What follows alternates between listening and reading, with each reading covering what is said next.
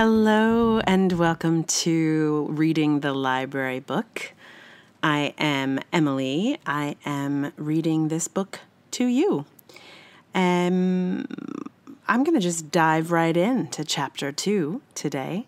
Uh, if you haven't listened to chapter one, do that first, and then come back to listen to chapter two, which this is. So, here is chapter two. Chapter 2 The next day, when the bell rang to release us from school, I hid in the coat closet for a few minutes. I thought if I got to the library a little later than usual, I might be able to avoid any of the other kids who might be turning up there. When my teacher came and found me by the art smocks, I told her I was looking for my jacket. She laughed and said, You're wearing it, silly. It's time to go home. I moved slowly enough that I missed the crush of parents and cars that usually ringed the school after school. I also missed the crowd that usually made the crossing together. The crossing guard was still there, though, and waved me up the street with her gloved hand and a curious tilt of her head. I passed the yellow house, the green house, and the blue one. I was glad that the dog didn't bark at me like it did last week. I arrived at the library with some sense of relief and pushed open the front doors. I tried to avoid the circulation desk this time. I just headed straight down the stairs to get back to my book in the comfy chair in the storeroom. All day long, I'd been looking forward to reading the next chapter in the comfy pea green chair. I collapsed into the comforting, well worn corduroy seat and rested my head against the side for a moment, relieved. I'd made it here without running into anyone. I reached for the novel on the table where I'd left it, but it wasn't there. I thought maybe one of the librarians had reshelved it. Maybe it was on the shelf where I found it. I walked over to the shelf, and it was empty. Then I noticed the entire bookcase was cleared. There were no books on it at all, just little balls of dust and a few stray pieces of paper. I was disappointed. I'd thought about that book all day at school. Maybe there was another copy upstairs. I looked around the storeroom and noticed that all of those bookcases were empty too. How did they clear out so many books in a day? A project like that should take weeks, I would have thought. I walked to the garage to see if my dad might be around, but the bookmobile was out, and so he must have been out delivering books. It was strange, too.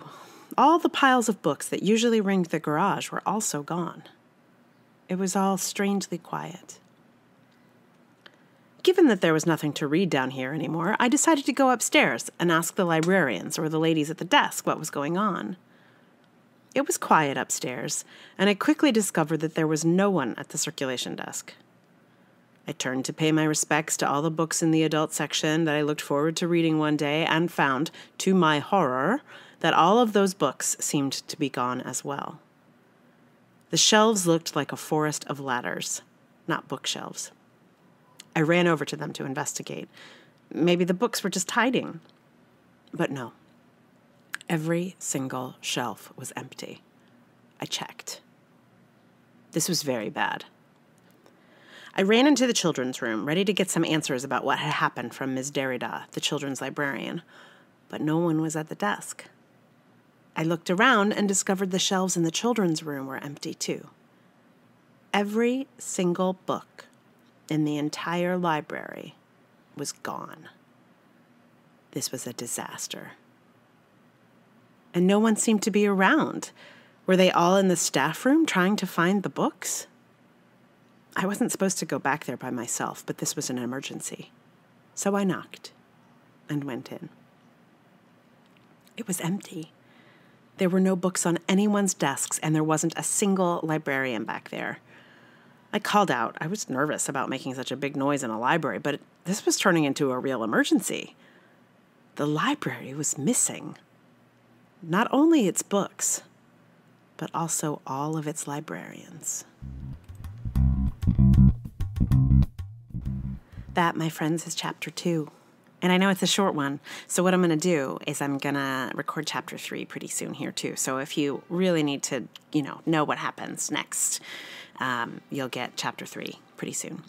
Um, yeah, so uh, I haven't ha- heard back from any listeners just yet, but when I do, I would love to put your questions, your thoughts, your wonderings here at the end of the podcast. I'm going to try and do.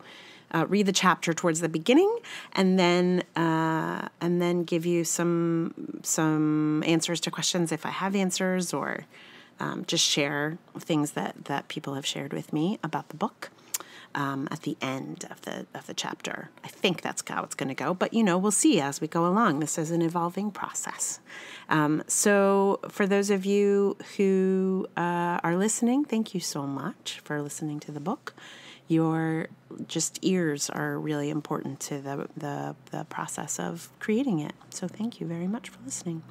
Um, if you would like to share your questions, your thoughts, your drawings, your ideas, whatever, um, with me, you can, if you're in the Anchor Podcast uh, app, um, which some of you may have, probably not most of you though, but in that app, which is the, the app that I use to record the podcast or actually to upload the podcast and distribute it, um, you can just go ahead and leave a message in the app and I'll get it.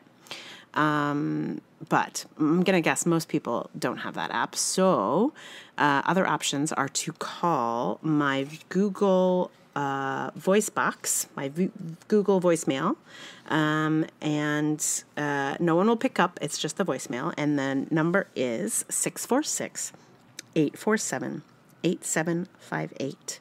And you can leave any messages or ideas or thoughts or whatever there. And I eh, have created a uh, e- an email for this podcast as well.